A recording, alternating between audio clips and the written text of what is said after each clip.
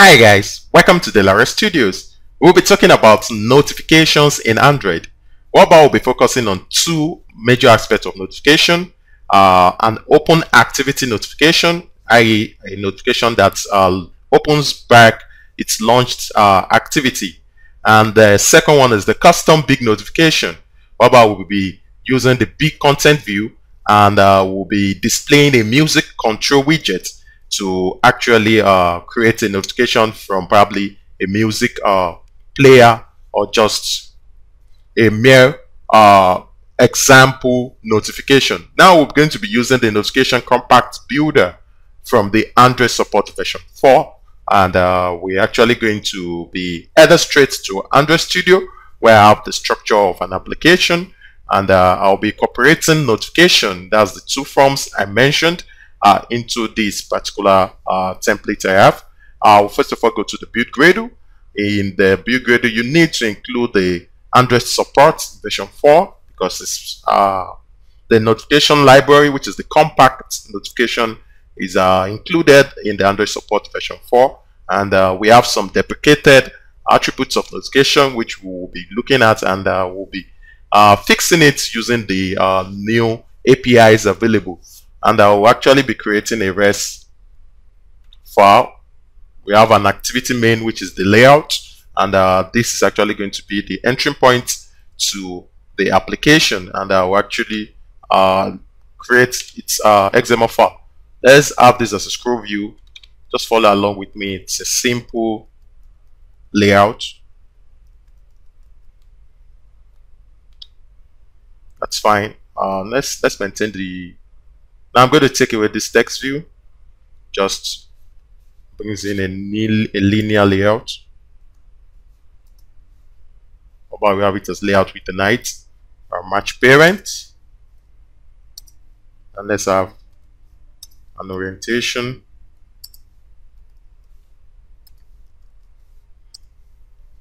That's fine. So we're going to have two buttons. The first button uh, it's actually going to be let's layout width let's selfie parent that's deprecated. Uh, let's maintain match parent then on the layout height wrap content. And uh, let's assign an ID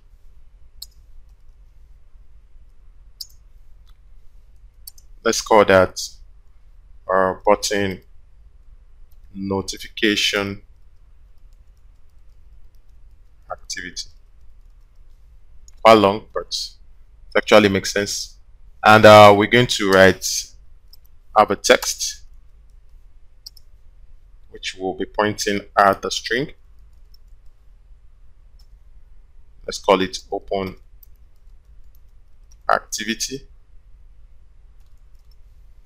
So I'll be going straight to the values, the strings XML. String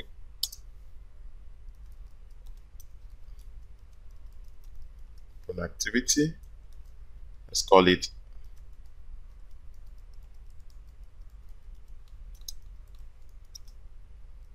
opens activity. That's fine. Uh, we're also going to have for the second one. And uh, maybe I will incorporate that. So let me just have that done that's actually going to be for the big content.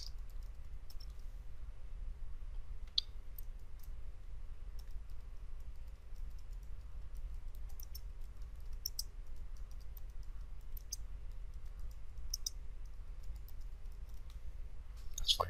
So back to the activity main. And uh, let's have the second button which will be for the big content.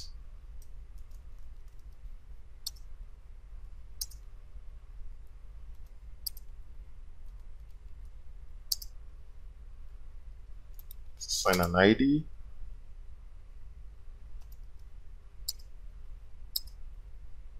Let's call it big content.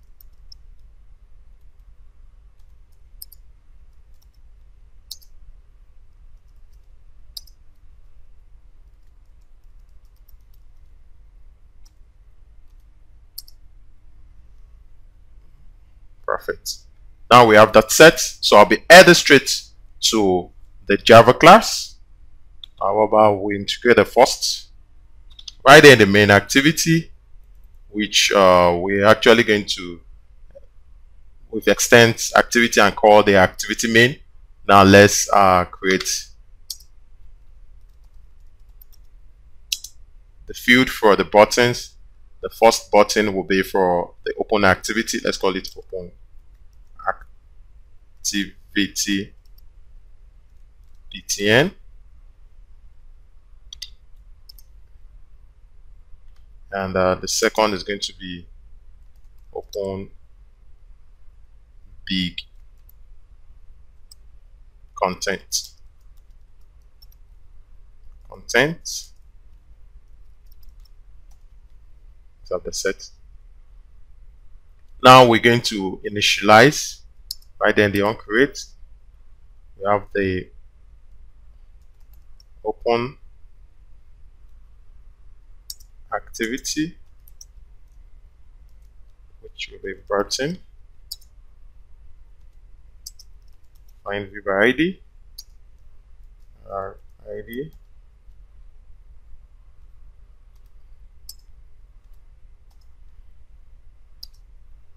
and the second one open the content button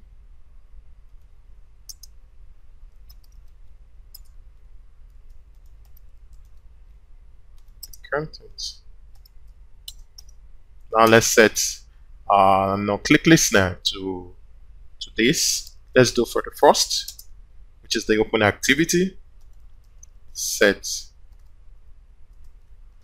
on click listener. Instantiate the on click listener. That's cool. Now uh, we're going to point out the notification. We're still going to create a, a class called notification generator which is actually going to call on open activity notification method going to get application context Perfect. So let's create the notification generator.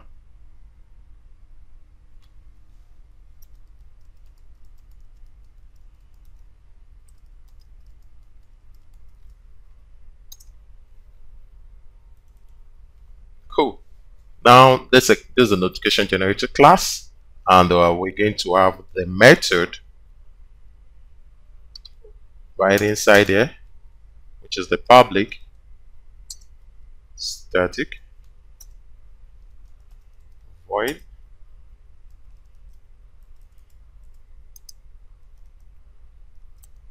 Upon activity notification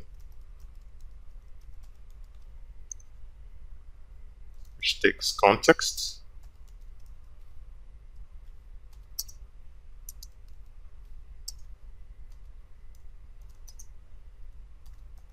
Now we call the compat version 4 builder.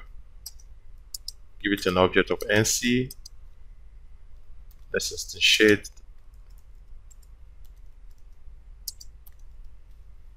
application builder.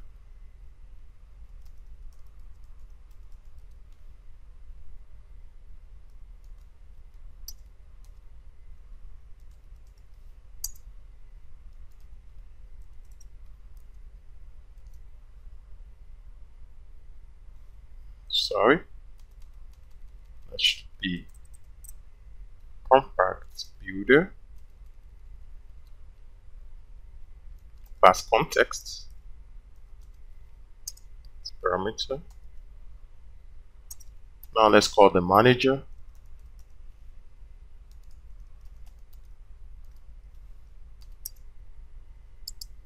Nm cast the notification manager class context. Get system service. Call the context.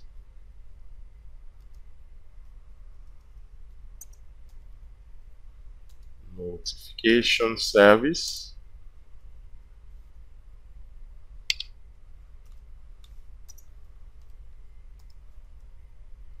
Now you create an intent for the activity. Intent, notify intent. Let's show with the new intent. Packs the context. What's going should I going to be the objects? Now calling the main activity dot class. Let's import the intent.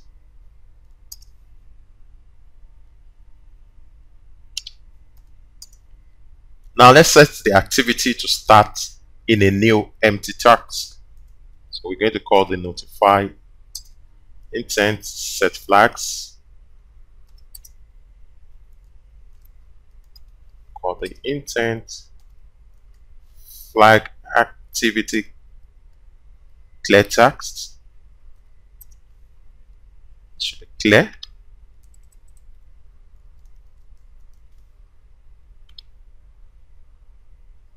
Flag activity click tax. Or sent flag.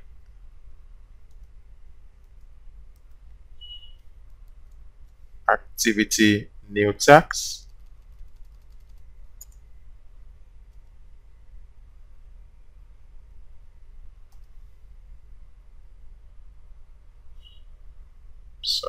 this extra colibris. Now let's create the pending intent.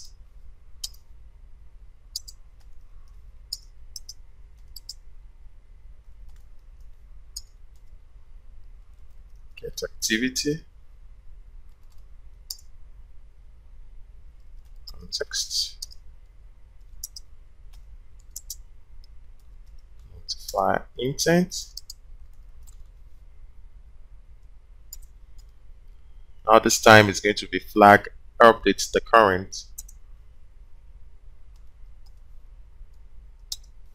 Now let's call the object NC to set content intent to the pending intent. So that is actually going to make uh, the click points back to you know, the current uh, calling intent. So let's just build the structure of the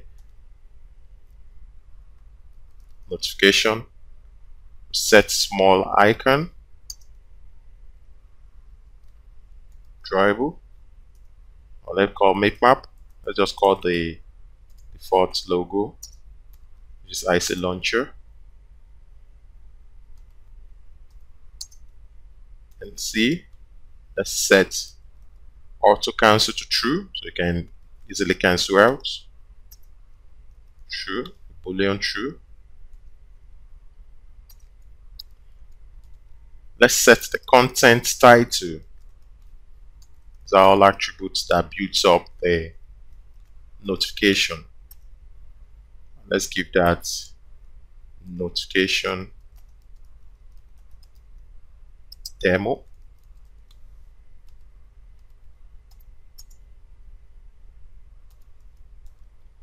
And let's set content text let's say click. Please and uh, else can we set I think that should be fine. And let's give the notify. Now call the notification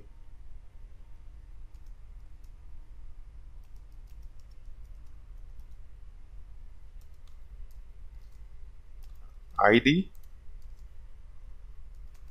open. Activity. And we'll build up. Now let's give the open activity, notification ID open activity. Uh, let's give it an ID over here. It's going to be private, static, final, int, notification. Let's just set it to um, 9 open activity let's do 9 that's fine. So this is just how to create the structure back to the uh, main activity uh, which will actually trigger the notification generator to open up the activity notification and uh, we have the notification generator itself. This is the engine. Uh, this is where we call the builder from the Android support version 4 and uh, we create we call we also call the notification manager. And uh, we actually instantiate an intent uh, to the main activity and we'll set the flags you know, to the flag acti activity clear task or the flag activity new task and uh, we also get the activity context and we add the pending intent you know at first you know this is just a kind of uh, second use of intent you know when uh, an intent is called immediately after there's a broadcast or probably uh, a push to the application. So it's just, just like a copy you know, of an application sitting right there on top. So we're going to set the small icon to the IC launcher, auto cancel we set a content title and also content text. Now look at the way we build up the notification. And I'll actually be showing this uh, in an emulator so that you, have, see how how these look and uh, and uh, you can easily integrate this in your application probably a GCMA application you know, about you are doing a push notification or a movie application that actually notifies the user of the latest movie and uh, you can even use it in a music uh, application by you can use the notification to control uh, the flow of the music so I'll actually be showing you this don't go anywhere here we go with the application, the notification uh, that opens activity, and the notification that launch the big content. We've not uh, integrated the big content, so we'll test for the first. Let's open the activity. Can you see the notification icon? Just because I use the uh, the default Android icon, that's why it's showing. Uh, it's kind of uh, vector, or let's say the bitmap. Now let me drag down which is the notification corner. I have the notification demo and I also have the click please. So I'll do something of this nature. Let me go to the home screen so that we'll know that we are actually not in the activity. Uh, now, a pull of the notification. This is actually Lollipop. Uh, a click on notification demo launches back the activity. Can you see that? And the notification disappears. So this is just how to integrate a notification that calls uh, the activity to open, you know, and it eventually disappears after that action. So I'll actually be uploading the source code to my GitHub. It's quite simple. And I'll be showing you the next part, which is the big launcher. Let's see how to create a music widget, which you can easily incorporate to your video application, music application. And uh, that's fine. So this is just all for now. Uh, catch me up in the next tutorial. Don't go anywhere.